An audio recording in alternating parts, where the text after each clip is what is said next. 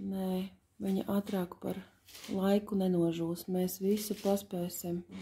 Tā, lūk, šeit zite mums Jā, liek savu dakterīt. austrumu pasakas motīvus liek. Dekorācijas top.